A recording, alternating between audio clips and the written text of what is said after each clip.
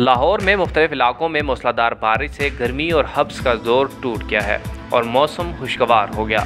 मौसम का हाल बताने वालों का कहना है कि 24 घंटों के दौरान वक्फे वक्फे से बारिश का सिलसिला जारी रहेगा।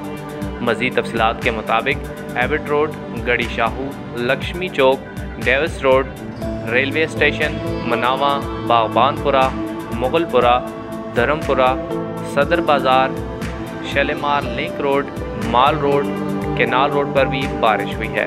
Islampura, Mozang, Wahdat road, defence, Samanabad, Iqbal town, Gulshan Ravi, Band road पर भी अबर करम जमकर बरसा है।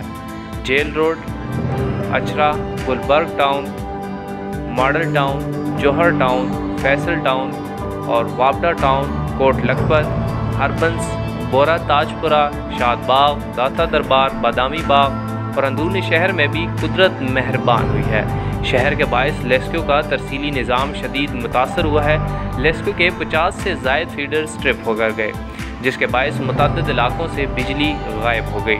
एबर्ड रोड, किला गुजर सिंह गढ़ी शाहू धर्मपुर, सदर, मुगलपुरा में बिजली बंद है।